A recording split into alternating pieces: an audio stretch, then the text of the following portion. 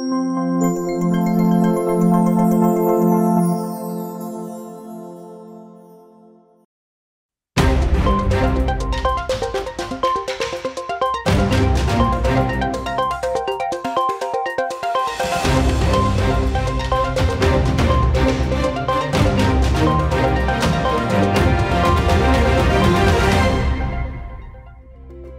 Köszöntöm Önöket, a Pécs TV keddesti híradóját látják, főbb híreink néhány mondatban. Fél milliárd csúcs technológiás rehabilitációs eszközökre, a terápia hatékonyságát növelik majd a klinikai fejlesztések. Zajlik Pécs zöld területeinek felmérése, hazánkban egyedülálló adatbázis jöhet létre a projektnek köszönhetően. Koncert a jó ügyért, a Pécsi Down Alapítvány javára szól a zene pénteken. Új csúcs technológiás rehabilitációs eszközpark fejlesztésre kapott támogatást a PTE klinikai központja. Ez egy 500 millió forintos beruházást jelent, melynek segítségével növelhető a mozgásszervi rehabilitációs terápia hatékonysága. A fejlesztés az elkövetkezendő két-három évben valósul majd meg a klinika Rákóczi úti telephelyén. Újra megtanulni járni és használni a végtagjainkat – ezt szolgálják mind hatékonyabban azok a robotasszisztált rehabilitációs eszközök, melyek már ismertek az Országos Mozgásszervi Intézetben Budapesten. Pécsett a rehabilitációs központban eddig még nem volt elérhető az ehhez hasonló technológia. Most azonban a magyar kormányzat, valamint a Kulturális és Innovációs Minisztérium félmilliárd forintot ítélt oda a PTE klinikai központja számára ilyen típusú eszközpark fejlesztésére. Sebestyén Andorra klinika elnök elmondta, az újítások sok beteg életét tehetik majd könnyebbé. Agysérültek olyan ér problémában szenvedők, akik vérzés, infarktus áldozatai lettek, vagy éppen olyan koponyasérültek, akik rehabilitációra szorulnak, és a rehabilitáció eredményeként, ami minél hamarabb és hatékonyabban fog történni, előbb tudnak a munkavilágába, vagy legalábbis az élet különféle szintére visszatérni. Az új technológia bevezetésének azonban nem csak a klinikai ellátásban lesz fontos szerepe, hanem a jövő humán erőforrás képzésében is, úgy mint a gyógytornászok, ápolók vagy egyéb rehabilitációs szakemberek, tette hozzá az elnök. Az egyetemnek feladata betegellátás mellett, klinikai központ területén különösen az oktatás, képzés, innováció, kutatásnak a lehetősége, ennek a biztosítása és fejlesztése. Ezt kimondottan, ezt a célt is tudja szolgálni, és itt fő feladatként a mindennapi oktatási tevékenység részeként az orvosképzésben, annak a graduális részében, annak a posztgraduális képzésében tud részt venni egyrészt, másrészt a szakdolgozó képzésében. Ez lesz tehát nem is olyan távoli jövő itt a Pécsi Rehabilitációs Központban, Európában. A fejlesztés a jelen tervek szerint közel két-három évet vesz majd igénybe.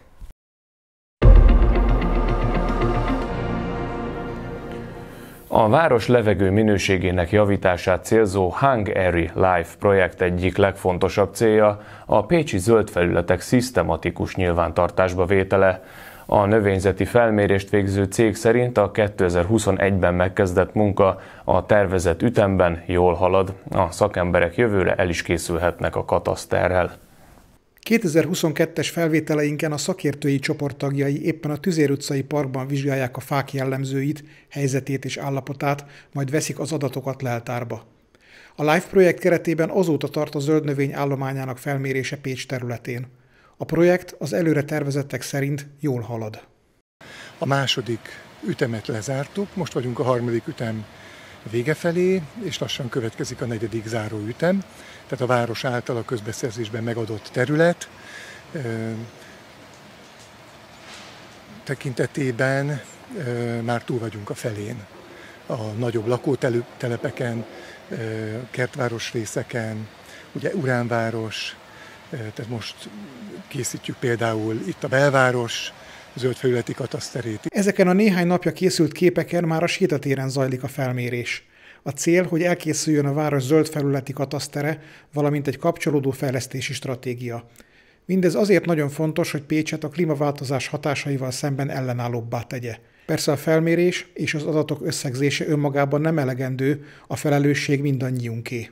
Klíma szempontjából az, hogy hol van zöld, az, azt fel tudjuk mérni, és annak örülünk. De hogy meddig lesz ott zöld, az egy másik feladat, mert ugye a, a zöld egyrészt vizet igényel, másrészt pedig ugye a, a klímaszabályozásban jelentős szerepet játszik, és meg kell oldani azt, hogy Pécset hogyan tudjuk, tudják a lakosok az önkormányzattal együtt a vizet megfelelő módon kellő ideig visszatartani. Ezáltal ugyanis párologtatással remek energiagazdálkodási rendszer jöhetne létre. A munkában jelentős szerep jut az adatgyűjtésnek és feldolgozásnak. Kutnyánszki Virág térinformatikusként vesz részt a projektben és az ahhoz kapcsolódó felmérésekben is. Mindezt izgalmas, változatos feladatnak érzi. Voltak kihívások, amikkel tudtuk, hogy szembesülni fogunk, és voltak nem várt kihívások természetesen. Ezeket ugye ez, ennek, a, ahogy telik az idő, próbáljuk kiküszöbölni. Tehát próbálunk egyre kevesebb követ gördíteni saját magunk elé, hogy a saját magunk munkáját megkönnyíthessük. Ezzel most már egész jól vagyunk, tehát sokkal gördülékenyebben megy a folyamat, mint az egész felmérés legelején. A projekt zárása után különleges zöld kateszter adatbázis áll majd rendelkezésre Pécsett. Egyedülálló lesz, hiszen más településeken nem létezik hasonló, azonos mintavétellel rögzített adatokból felépített egységes rendszer.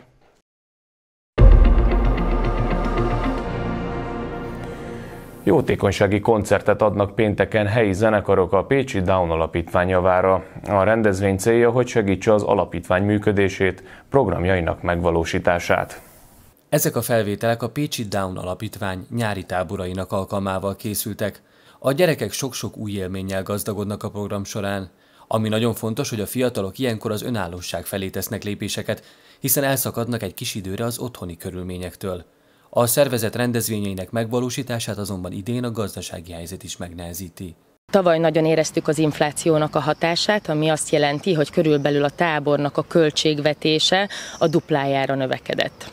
Ehhez is már tavaly is nagyon nehéz volt megtalálni az anyagi forrásokat. Idén viszont semmilyen pályázatunk nem nyert, nem támogatták ezt az elképzelésünket, sőt a többi fejlesztésünk is, ami most már évek óta jól bevált és fut, azokra se volt meg az anyagi háttér, ezért elég nehéz helyzetbe kerültünk már szeptemberben. Az alapítvány cégek támogatásából és magánadományokból próbálja fedezni a hiányokat, ennek kapcsán kaptak most egy újabb felajánlást. Három zenekar döntött úgy, hogy egy jótékonysági koncertet szervez nekünk, és a bevételt azt ezekre a programokra szeretnének felajánlani, ami pénteken lesz, a szabad kikötőben 8 órakor kezdődik. Nagyon örülnénk, hogyha sokan lennénk, mert ezáltal akkor már szeptember óta is biztosítva lenne az az anyagi háttér, amire szükségünk van. A koncert teljes bevételét az alapítvány a programjai megvalósítására, főként a Down-szindrómás vagy más genetikai eltéréssel élő gyerekek fejlesztésére megőrzésére és életminőségük javítására fordítja.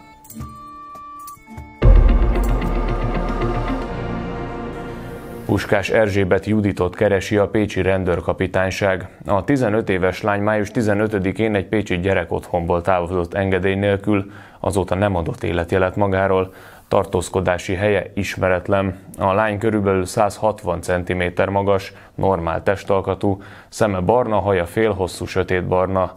A hatóság kéri, aki a képen látható lányt felismeri, vagy jelenlegi tartózkodási helyről információja van, akár névtelensége megőrzése mellett tegyen bejelentést az ingyenes telefontanú zöld számán, vagy a 112-es központi segélyhívón, vagy jelentkezzen személyesen a Pécsi rendőrkapitányságon. Híradónk végén néhány szó az időjárásról. Szerdán folytatódik a kánikula, derült lesz az ég. A legmagasabb nappali hőmérséklet 35 fok lehet. Érdemes lesz tehát odafigyelni bőrünk védelmére. Köszönjük, hogy velünk tartottak, ennyi volt már a PSTV híradója. Tartsanak velünk holnap is ugyanebben az időben. Viszontlátásra!